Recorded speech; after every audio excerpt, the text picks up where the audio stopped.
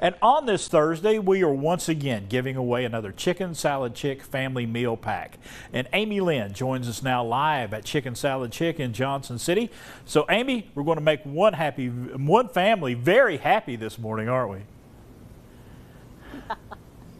Yes, of course, Chris. We have had a huge response, of course, from this giveaway with our friends here at Chicken Salad Chicken. It is always a beautiful day for a visit over here, and they have got some great ideas for us this morning. We have Beth and Jessica back with us today. We're talking tailgating, we're talking catering, and yes, a giveaway. Everybody loves a giveaway, but I know you guys really having a lot of fun with this, a great opportunity to, to enjoy and, and have some fun with your customers. Oh, we sure are. We love giveaways.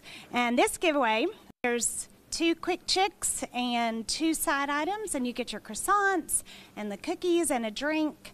So just lots of yummy goodness. And a quick fix for those busy parents out there now that the sports seasons have kicked in and we're all running from place to place. So this has been a lot of fun. And I'm seeing over here, Jessica, a new menu item, which is really exciting as we come into a new season. Yeah, we're really excited about this one. This is our new chicken salad melt, um, brand new to the to the company, to us. We've never had this one before. It's been really popular so far. So we're super excited to talk about this a little bit more and offer some samples if you all would like when you come in the store. Yeah, it's a good one. It's a good one. I was to say, it looks like it's grilled there, and then you've got that cheesy, yummy. When you pull it, you're going to. Mm-hmm. No, it's nice and cheesy. It's perfect. It's very craveable, is yeah. what everybody's telling us. So we've been really excited about this. All right, and certainly perfect for fall. Well, we are just getting started here. As I mentioned, we're going to talk about some easy catering ideas. Plus, it's football time, of course, here in East Tennessee. So, Chris, we've got some great ideas to really up your tailgating game when you're out there at those games this weekend.